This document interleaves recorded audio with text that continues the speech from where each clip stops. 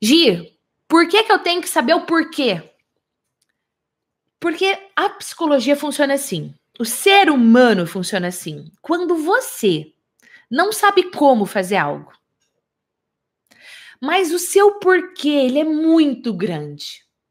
O como, você dá um jeito, você descobre. Agora, quando você sabe o que você tem que fazer, como você tem que fazer, mas o seu porquê é um porquê chinfrim, meia boca, fracote, você não faz. Você procrastina, você enrola, você arruma desculpa. Por que você quer vencer a timidez? Qual é o motivo?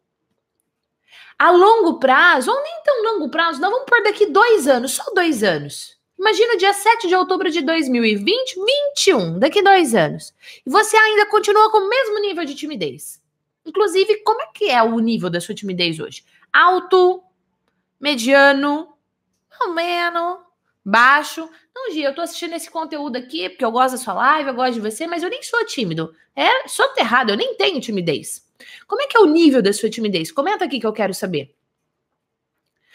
Para você vencer a timidez, você precisa saber o porquê que você vai fazer isso. Mas as pessoas falam assim: ah, é porque eu quero dar palestra, porque eu quero dar treinamentos, ah, porque eu quero gravar vídeos e publicar na internet. Olha, eu quero fazer stories no Instagram, quero fazer stories no YouTube.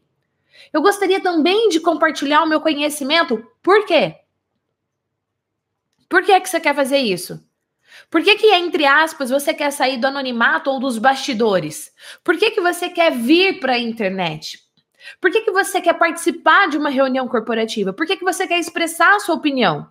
Se o seu porquê, aliás, se você não tiver consciência do seu porquê, você vai, você pode até saber os outros passos que eu vou te dizer aqui, mas você não vai fazer. Você não vai fazer, você vai se sabotar, você vai procrastinar. Por quê?